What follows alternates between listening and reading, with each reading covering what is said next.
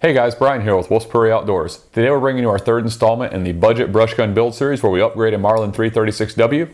Today we're going to be installing a new mag tube, a follower, and a rocket pod from Ranger Point Precision. If your rifle doesn't have barrel bands like this one does, you're going to want to check out the link right up here because it will take you to our 1894 CST build. And in that one, the rifle does not have these barrel bands. It has an end cap on the handguard, so it's a little bit different process for installation and removal. Uh, if you are just joining us, check the link right here and it will take you to the beginning of the series and you can watch everything to this point. We've upgraded the lever, quick takedown screw, trigger, trigger spring, and loading gate so far. Been some great upgrades. We're going to do this mag tube install, and after this, we're going to take it out and do some plinking, see how all these upgrades are doing. After that, we'll be doing sights. We've got a safety delete yet, and uh, some other stuff. we got a lot of stuff going on this rifle. We're going to have a lot of fun with it, but that's enough yapping. Let's get to installing. So first up, we're going to have to remove the screws for this barrel band, this barrel band. We're going to have to remove the front sight hood, the front sight, and the handguard. As always, you want to have a good set of hollow ground screwdrivers when you're doing this. If you don't have a set, then tape up the end of your bits so that if you slip out, you have less chance of marring up your finish. Also, make sure you use the right size bit for the screws. These screws are temperamental and you can break the heads on them fairly easily. So the first thing I'm going to do is remove the front sight because I know it has to come off of here. As you guys can see right here, there is a single screw retaining my front sight. So I'm going to flip the rifle up. This bit just fits in there so that I don't have to remove the front sight hood. I'm to set the sight and sight hood in my parts tray. Next up, I'm going to switch out bits and I'm going to remove barrel bands. As you can see, there is a single screw on this barrel band right here.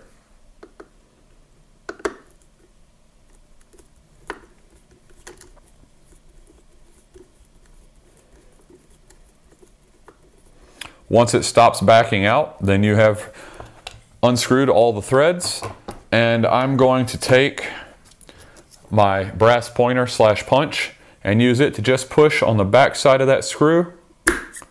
Push it right out. Fell in my parts tray, but that's where it's going to go. Next up, I am going to switch bits again. And I'm going to remove the front barrel band and that one is loose. I'll remove it.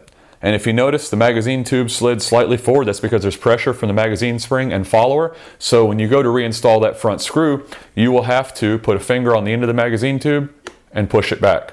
That way the grooves in the band and in the barrels will align properly so that your screw will go through with ease and you won't mar anything up. Okay, now that those are loose, I've just got to remove this rear band. This one is really on here, so I will probably be coaxing it along with a rubber mallet, just until it gets worked loose.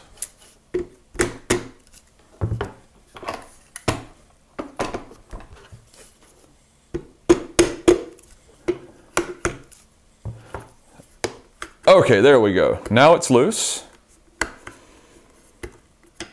a very, very, very secure fit there. Very close tolerances. All right, now I will slide that off, put that in my parts tray, and slide the other one off with the magazine tube. Be careful, this is under pressure. You've got a magazine spring in here as well. All right, that's off. So now I'll go ahead and remove that barrel band from this mag tube, put it in my parts bin. I'm gonna set this aside for now. We still have to remove that magazine tube cap. I'm going to go ahead and remove the magazine tube spring, and I wonder if the follower will come with. No, it did not. So, I have to pick the rifle up and remove the handguard. Just gonna put a little pressure downward on that, and it should come right off. There it is. And as you guys can see, there is our magazine follower. Pull that plastic follower out and we're going to be reinstalling the nice blue Ranger Point Precision follower.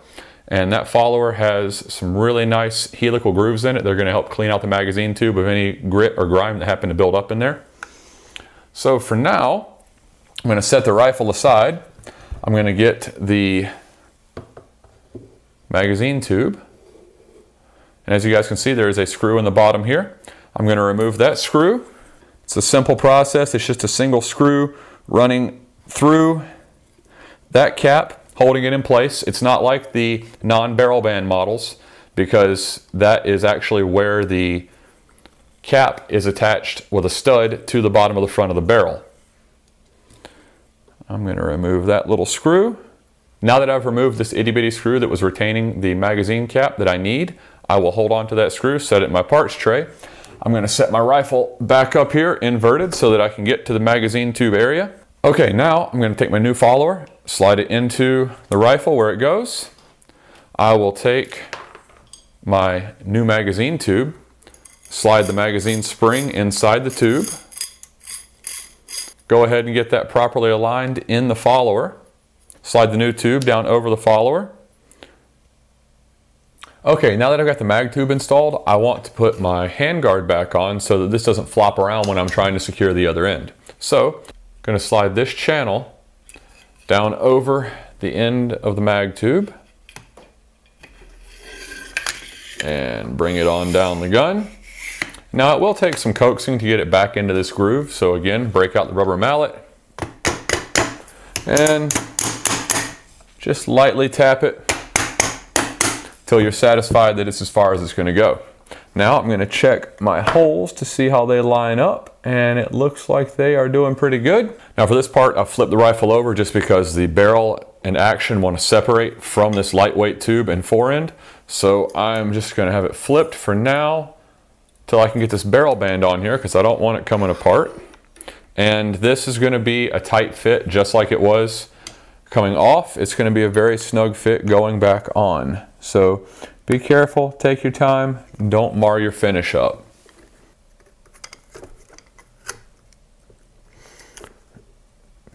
Okay, we'll take the mallet, just lightly coax it back into place.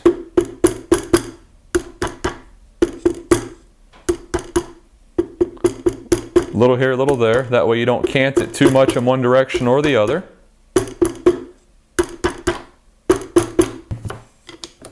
Now, I'm going to stand this up because it's easier for me to visually see through the hole and make sure that my grooves are lined up accordingly. And now when you are lining up the groove in your magazine tube, an easy way to check and see if your grooves are lined up properly is just look up top here. If you've got this groove here where my brass punch is coming through, if that's aligned properly, the other groove should be aligned properly. It's pretty simple there.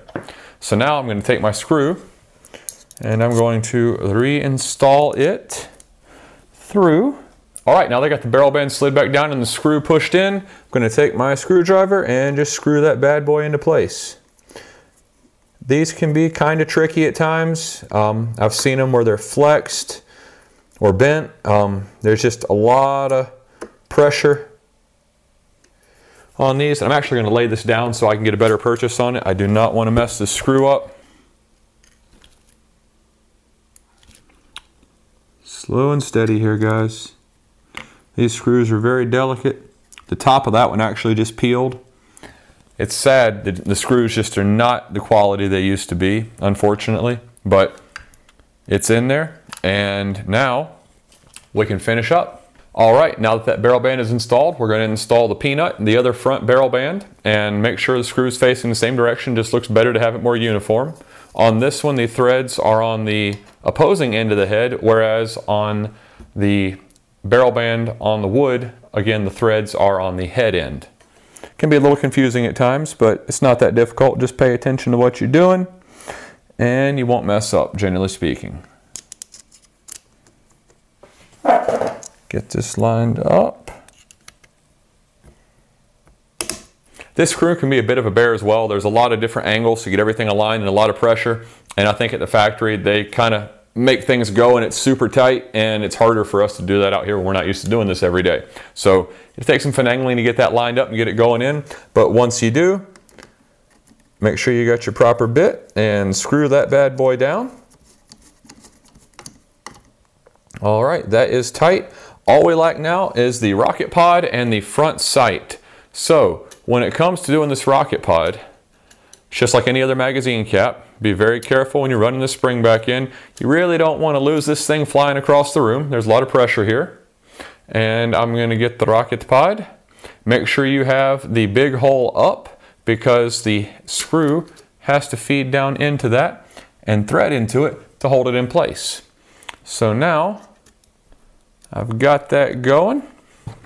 Should have switched bits first, but I can do that now. It's not a problem. Okay. There we go. And I've got my bit going. Pull that bad boy down in place. And that is on and tight. All we got left now is front sight.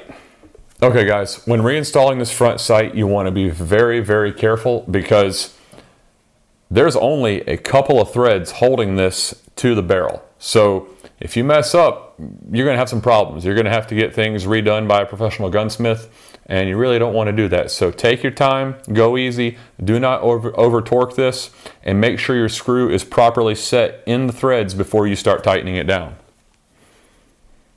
Go ahead and get my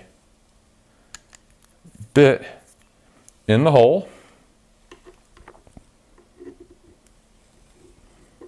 Place that where it goes. I'm going to back thread it until I feel that catch where the thread drops into place. And then I can start tightening down. Make sure everything's aligned properly.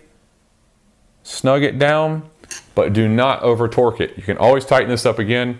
Put some Loctite on it if you need to but do not over torque that. You will strip those threads out and ruin it, and you have to get it rethreaded. All right, rocket pod and front sight are installed. Everything else is in and tightened down and good to go. I think it's looking really good. I'm excited with the way this build's coming along. Guys, this is something you can do in your garage at home, at your desk, in the living room if you had to, on the coffee table. Your wife might not might not like it, but you can do it. Uh, it's really coming together well. And, you know, like we said in the beginning, these are parts, you know, Christmas, get a lever, Father's Day or birthday, get a trigger. You know, a part here and there, you can make this rifle into something way more than it was in the beginning. It's functioning so well now. We did some shooting with it at the very beginning and got a feel for how things are in its stock configuration. And now we're going to take it out and do some plinking now that we've got all these parts installed and see how these, uh, how these upgrades improve the handling and reliability of it with the new trigger, lever, loading gate, follower. Uh, mag tube was mainly just a weight savings. And I think this is going to work out really well. I also want to see, you know, how I like these Buckhorn sights in a good thorough shooting session.